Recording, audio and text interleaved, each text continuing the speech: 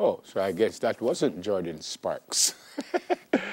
All right, we'll move on. I'm now joined by two nominees uh, for the Prime Minister's National Youth Awards, nominated in the category of nation building, uh, the former Kingston College uh, head boy, Chad Rattray, and uh, Talia Suarez, who is nominated in the category of arts and culture.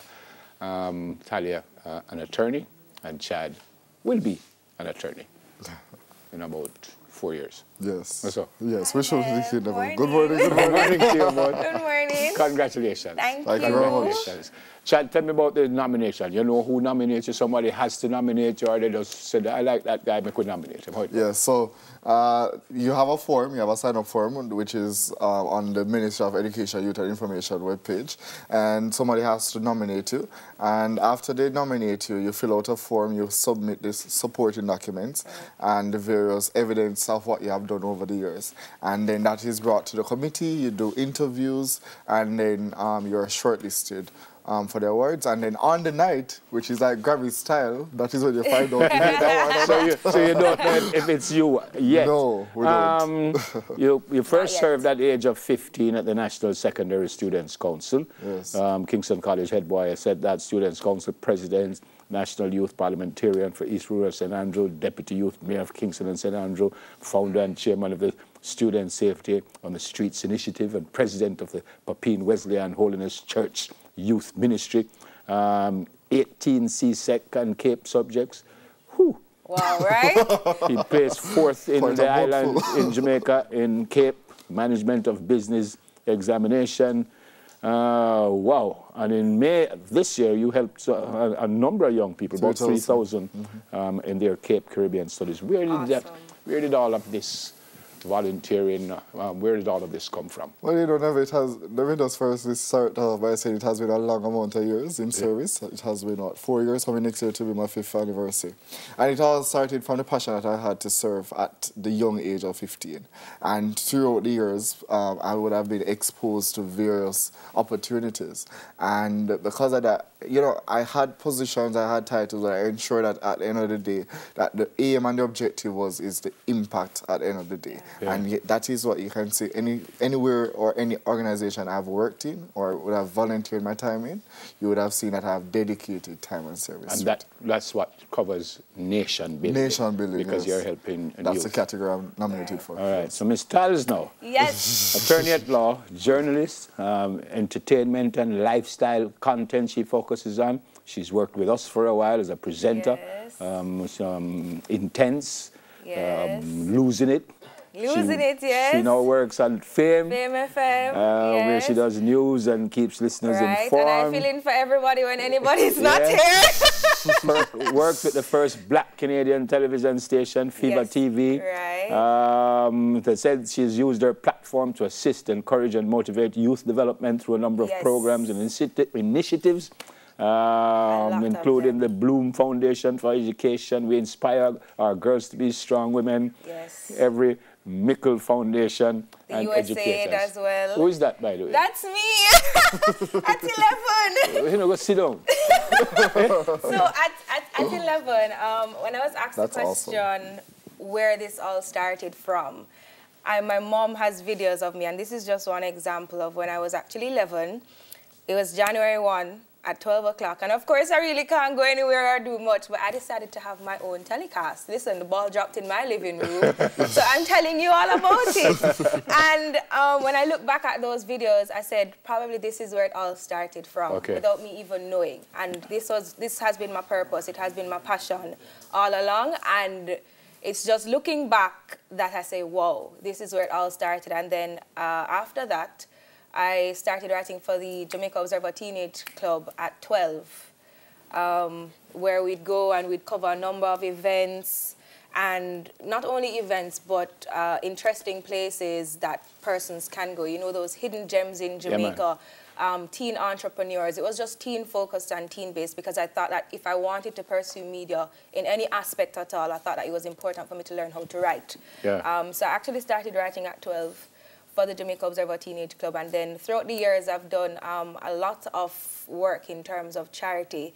Uh, the USAID is one example Yeah. where it is leading through reading, where the aim was to uh, assist 100 million students to be able to read at grade level um, within the, the year. And we visited a number of schools within St. Elizabeth and Mandeville, Manchester, uh, throughout their reading days, their literacy days, to assist them, you know, with, with the development of their program. Um, the We Inspire Our Girls was another example, and I think that initiative actually touched me. We went to a number of, um, of high schools, and we just spoke to the girls about their development, about our story, and just to encourage them how to just get by. Yeah. So and I'm using my platform to assist youth has always been something that has been, very important for me. I mean, I've done a number of work as well, a lot of work actually actually with the Danny Williams School for the Deaf through the Bloom Foundation okay. for Education, okay. and that assists uh, students with special needs. All right. So, um, yeah. The only thing, the only thing you both have in common is enough. and, and with all that's been said, and I'm sure you both will correct me, I don't see a link to law. Law? Well, actually, I do Apart practice from law. No, no, that's saying, I'm saying from, from the things that you have done, Right. it, it wouldn't suggest that you are going to be a lawyer. Oh, You know, oh, yeah. you know, funny enough. You understand? Yeah, that's true. And it's the same thing with you. So when I end up in you law, know, funny enough, I think law is in everything. Law is actually the baseline as I said, everything. I'm sure you would correct me. It's almost, as you can see, it, it is in everything and it can actually help to impact persons' lives positively Right. as well. You know, um, when persons think of law and legal problems and troubles, they say, geez, these problems. Yeah. But at the end of the day, helping persons to resolve these problems and uh, come out successful is what actually I think prob- probably is Both the of you been baseline. doing, yeah. right. Yeah. So why law with you, Chad? Well, you know, Apart I- from your enough. well, you know, it's not just about being enough. It's just that you know, law. was I've teasing always with had a- enough I know, man. I know, man. Never, you know, so we're good, man. Yeah. Yes. But yeah, so I would have had a passion for quite some years now that I wanted to pursue law. And I think that it can be the next avenue where I can even level up the service that I've done so far. Yeah. Definitely. Um, I should have asked this at the top before I get to my next question. How does this make you feel to be nominated for, um, for, for this? I should have asked that at the It feels awesome, to be honest with you. Um, to know that you know your work is appreciated, to know that you know you're being recognized. You know, it's a truly fulfilling um, feeling. Yeah. I was a little shocked. I was like, when I got the call, I was like, what? And I didn't know who was on the phone. And I was like, oh, I'm sorry. Composure is key. Well, that, that alone should have make you don't get it. No, no, that alone should I have make like, you don't get what? This is exciting. it. And you don't get it yet. So, can you imagine if them name are, woo, we can't hold her. um, in, a, in a very serious way, Chad, uh, we don't have a whole lot of time. Um, tell the youngsters, you have about 30 seconds. Um, you know, you kids and young people get a hard time. I've, coached, I've coached them for, for years, and some people think they're just bad at them this, but they're under as much pressure as all of us. But it seems like every now and again you find a gem, you both. Yes. Why? Um, what, what have you done? What, what, what kind of leadership in your life? Why, why are you Chad? Well, I'm Chad because I think based on the foundation I would have gotten over the years, uh, you know, be, having a strong and supportive family, having, uh, you know, direct connection with, you know, different institutions I would have worked and serving and, and you know, I've been so inspired by so many different stories of young people. And I just want to respond to that, to just say that the majority of our youth in Jamaica, it's, they're not, nothing is wrong with them. They're doing good. You have youth that are um, in communities, in parishes that are working. Because there are so many nominees. We're not just only two. There are so many nominees who have been nominated across the different Okay. um, The categories and so on. So, Tally, you know, want- phenomenal. Yeah, tell Tally, I want to ask you the same question. We're going to have an interview in a little while about kids smoking weed at school. Okay. Um, and, and, and whether they like it or not. I was one of those kids who kind of lean up. But importantly, I had a family that every time I lean up, Just then straighten straighten you me back, back. up. Yeah. I'm not certain these kids have that. So Yeah. give, them a, give them a message here. give them a Um, message. I think it's important to always remain humble, um, to always not be afraid, or to, to, to always take criticism.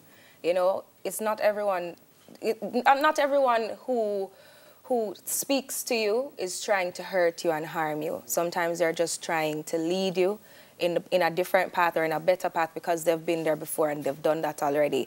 So I think that it's important to listen sometimes, most times. Um, it's always important to try and to never be afraid to pursue what sets your soul on fire, what, what sparks that fire within you and what truly makes you happy.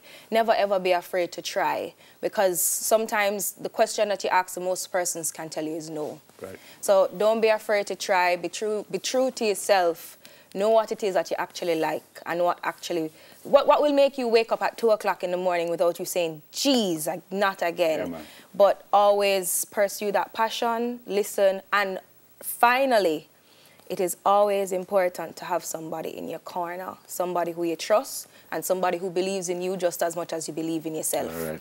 I'm Yeah. proud of you both. Sorry, before you go, Neva, I just want to big up the Ministry of Education, Youth Information. All right, and also to the Prime Minister um, for having the awards on Saturday. So Minister Terrelonge, the team, Simone, uh, Mrs. Sergio, Pinto, Paris. Oh gosh, there are so many phenomenal people within the youth division at the ministry. Just want to say a special big up to them and a special big up to the young people in Jamaica. That's For- why I'm Alright. I am.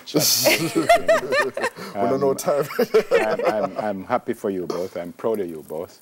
And I pray that whether you win it or not, it's a fantastic um, acknowledgement for what you do. Definitely. Thank Thanks you. so what much. you do, and, and, and good luck to you both. Thank you. Thanks, Nick. Talia Thank you, Suarez and Chad Rattray, nominees for the Prime Minister's National Youth Award. Apparently, I never get it because them think I'm not a youth.